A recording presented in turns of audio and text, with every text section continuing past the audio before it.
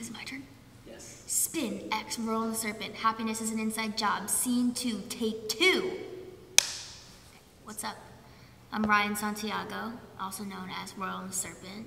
I'm here with Spin Mag. Take a seat with me. Let's talk about my project, Happiness is an Inside Job. Um, since I really started making music, I think I've always had a pretty heavy focus on mental health. Music has always been like therapy to me, and getting to express myself in this way has helped me through some of the hardest times of my life. Um, and I think it's really cool that I get to share that with the people that listen and are a part of this community with me. Um, I think it makes us feel a little more connected, and I've talked a lot about my journey towards trying to find happiness, especially in the past few years. A lot of my music has been really centered around depression and um, some of the tougher mental states that I have gone through. But this past year, I made an active decision to find happiness because I was fed up with feeling the ways that I was about myself.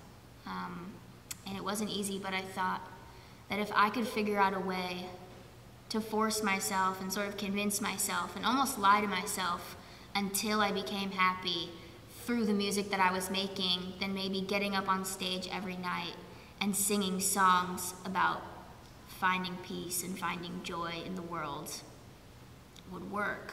And I think that our thoughts and our words are so powerful, and everything that we say and everything that we believe, we affirm to ourselves every day.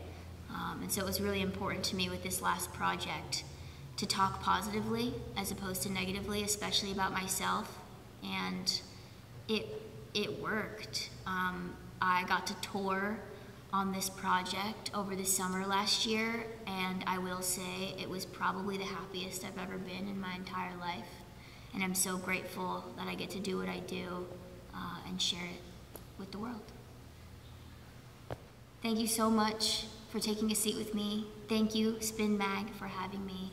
I'm Royal and the Serpent. It's been an honor. I love you.